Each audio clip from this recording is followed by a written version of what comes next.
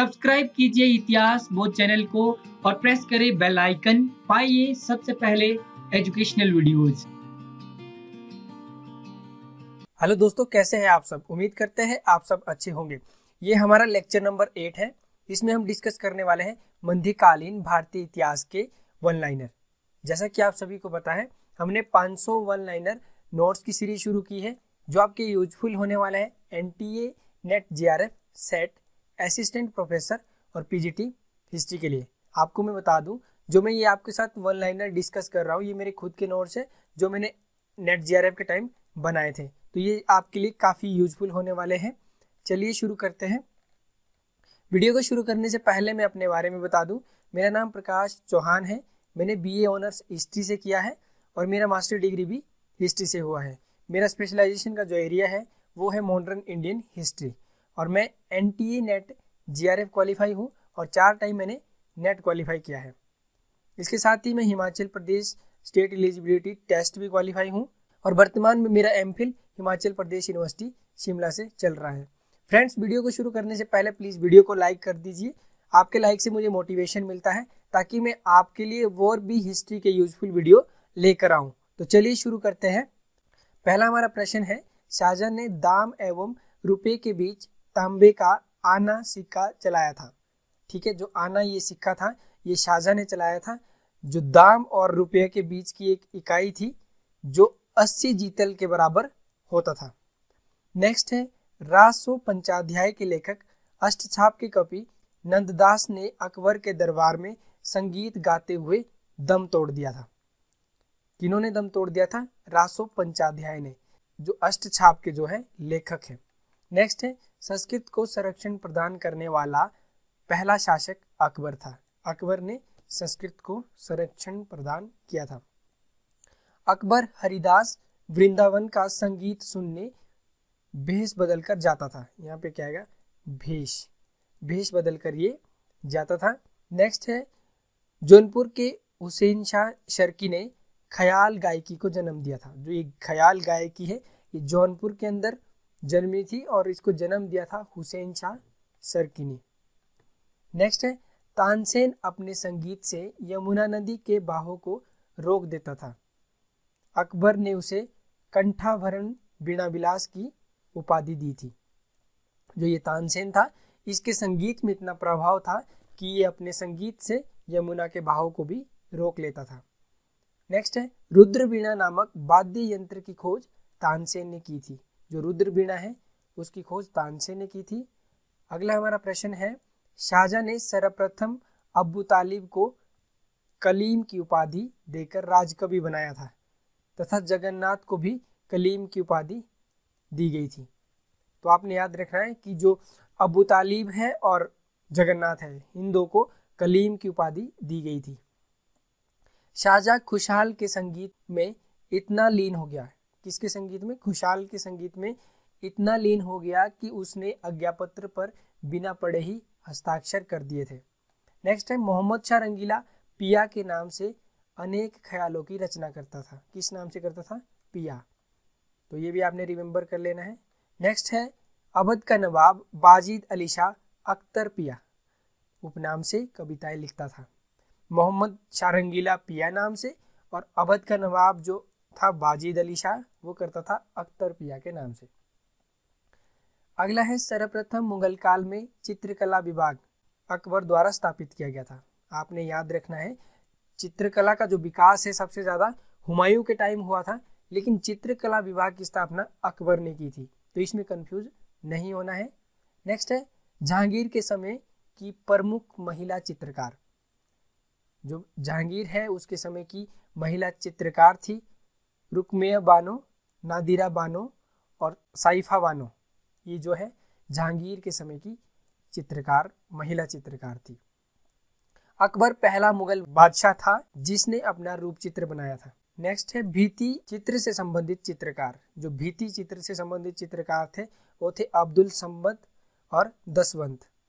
अकबर के अनुसार, अकबर की एक स्टेटमेंट है, एक चित्र के पास ईश्वर को पहचानने का साधन है क्योंकि वो प्राणियों के अंग प्रत्यंग तो बना लेता है, लेकिन जब तक उसमें जीवन नहीं डाल पाएगा, तब तक ईश्वर के विषय में सोचेगा। अकबर का कहना था कि केवल मात्र एक चित्रकार के पास ही ईश्वर को जानने, पहचानने और समझने का जो है साधन है, क्योंकि वो प्राणियों के अंग प्रत्यंग तो बना सकता है, ठीक है, जब तक उसमें जीवन नहीं डाल पाएगा, तब तक वो ईश्वर के बारे में सोचेगा। नेक्स्ट है चित्रों के साथ कलाकारों के हस्ताक्षर अंकित किए जाने की प्रथा भारतीय कला में मुगलों की देन है, ठीक है? जो चित्रकार अपने पेंटिंग में नीचे हस्ताक्षर करता है, जैसे आज के समय में भी करते हैं, वो हस्ताक्षर की जो देन है, ये मुगल काल से शुरू हुई है और पहला साक्ष्य में वसावन का मिलता है। वसावन के हस्ताक्षर मिलते हैं और दूसरा केशव दास का। देवदूत भव्य बालक प्रभामंडल का सर्वप्रथम प्रदर्शन अकबर के समय चित्रित चित्रित रजमनामा में मिलता है। किसमें मिलता है? रजमनामा में। मुगल काल में चित्रित अंतिम पांडुलिपि मनसब ज़फ़र खां सोलह तिरसठ मानी जाती है। जो मुगल काल में अंतिम चित्रित पांडुलिपि थी, जिसके ऊपर चित्रांकन किया गया था, वो थी मनसवी ज़फ़र खां की। नेक्स्ट है, बाबर ने आत्मकथा में बेहजाद शाह मुजफ्फर। दो चित्रकारों का उल्लेख किया है। बाबर बाबर की जो आत्मकथा है, तुर्की भाषा में लिखी गई है तुझ के बाबरी। उसमें दो चित्रकारों का उल्लेख हुआ है, बेहजाद और शाह मुजफ्फर। नेक्स्ट है हुमायूं के समय के चित्रकार। हुमायूं के समय कौन कौन चित्रकार थे? मीर सैयद अली तबरीजी, नादिर उल अस्त्र। जो मीर सैयद अली तबरजी था, इनकी उपाधि थी नादिर उल अस्त्र और अब्दुल शमद सिराजी। जिसको श्री कलम की उपाधि दी गई थी। नेक्स्ट है 1400 में मालवा पाक शास्त्र की कृति नियामत नामा पहली चित्रित पांडुलिपि थी। जो पहली चित्रित पांडुलिपि थी, वो थी नियामत नामा जो 1400 में मालवा पाक शास्त्र की कृति है। अगला है हमजा नामा जो हमजा नामा है, पहली चित्रित पांडुलिपि थी मुगल काल की, हुमायूं के समय की।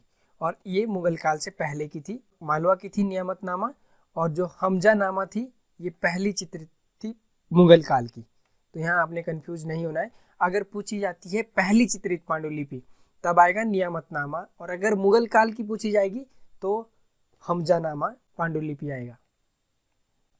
अकबर ने युद्ध चित्र और युद्ध में मृत अमीरों के चित्रों के निर्माण की परंपरा शुरू की। जो युद्ध में मृत शरीर है, उनके भी चित्रण किया जाएगा। ऐसा अकबर ने प्रावधान किया। नेक्स्ट है, अकबर के समय के जो चित्रकार हैं, उसमें है दसावंत, बसावन, लाल मुकुंद, मसीकन, केसुदास, भगवान, नन्ही कन्हा, तारानाथ, जमशेद, सांवलदास, जगन्नाथ, धनराज फरूक बेग और हरिवंश। इनमें से जो उस्ताद की उपाधि प्राप्त चित्रकार थे, जिनकी उपाधि उस्ताद की थी, वो थे बसावन, लाल मुकुंद, मिसीकन। जहांगीर ने आगरा में हेरात के अक्रीजा के नेतृत्व में एक चित्रशाला की स्थापना की थी। कहाँ पे? आगरा में की थी। नेक्स्ट प्रश्न है, प्रभामंडल युक्त रूप चित्रों की शुरुआत जहांगीर के काल से हुई है। प्रभामंडल से युक्त, प्रभामंडल जो एक पीछे, जैसा बुद्ध के पीछे होता है, प्रभामंडल, उसके चित्रों की शुरुआत मुगल काल में किसने की थी? जहांगीर ने। अगला है, दौलत ने पानी में देखकर खुद का चित्र बनाया था, ठीक है? उसने पानी में देखकर अपनी जो उसकी छाव पानी की में पड़ी थी, उसको देखकर खुद का चित्र बनाया था, दौलत ने। तो आप इसको ऐसे भी याद रख सकते हैं, दौलत, यानी कि तल तल में होता है पानी। तो उसने पानी में देखकर खुद का चित्र बनाया था, किसने? दौलत ने। दौलत, यानी कि तल। फिर है बिशन दास ने शाह अब्बास। ईरान के शासक का चित्र बनाया था। जो बिशन दास था, इसने शाह अब्बास का चित्र बनाया था ईरान जाकर। नेक्स्ट है मंसूर। मंसूर एक पक्षी विशेषज्ञ चित्रकार था। ये पक्षियों के चित्र बनाता था मंसूर। उसने बंगाल का पुष्प, जो उसके प्रमुख चित्र है, बंगाल का पुष्प है साइबेरिया का सारस।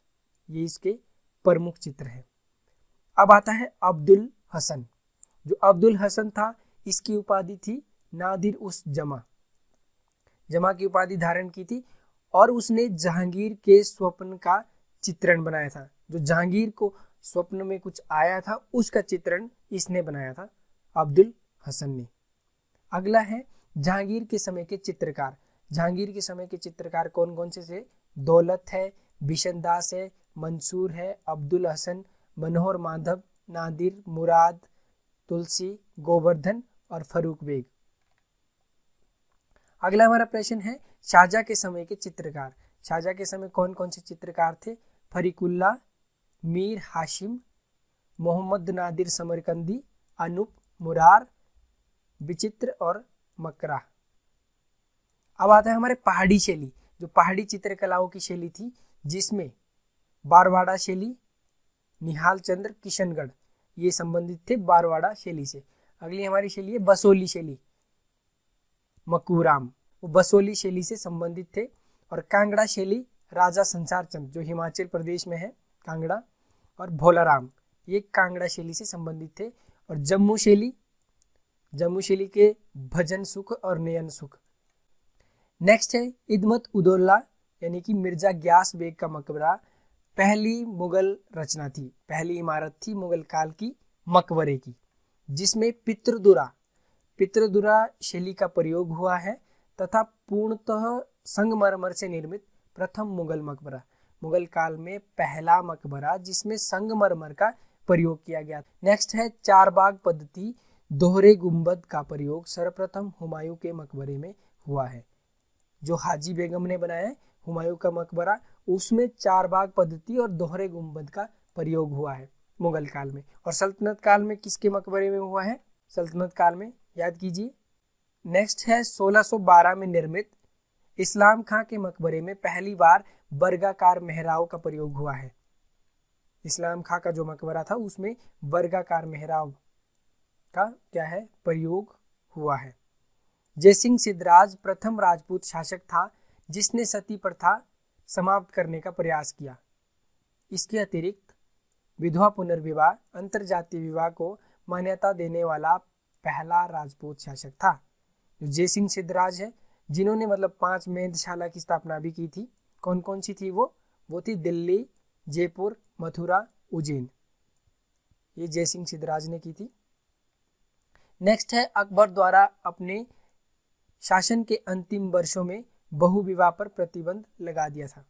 अकबर एक ऐसा सुल्तान था जिसने बोला कि केवल मात्र आपको एक पत्नी से शादी करनी चाहिए, एक महिला से शादी करनी चाहिए।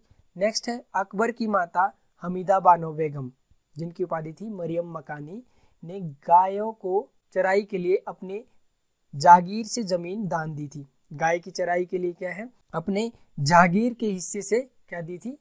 ज़मीन को दान दिया था। नेक्स्ट है तंबाकू, अकबर के काल में पुर्तगालियों द्वारा सर्वप्रथम दक्षिण भारत में लाया गया था 1604 में।